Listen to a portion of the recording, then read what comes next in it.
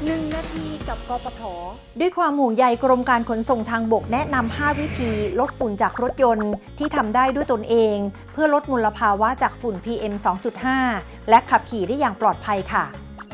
สาเหตุหลักฝุ่น PM 2.5 มาจากท่อไอเสียรถ ขณะขับขี่ควรใช้เกียร์ให้เหมาะสมกับความเร็ว ไม่ควรขับรถลากเกียร์ เพราะส่งผลให้เครื่องยนต์เผาไหม้ไม่สมบูรณ์ ไม่บรรทุกสัมภาระมากเกินไป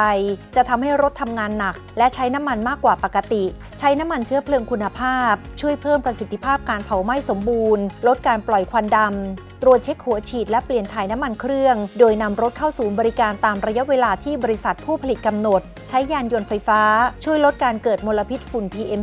2.5 และประหยัดค่าใช้จ่ายได้ค่ะด้วยความปรารถนาดีจากกองทุนเพื่อความปลอดภัยในการใช้รถใช้ถนนกรมการขนส่งทางบก กระทรวงคมนาคม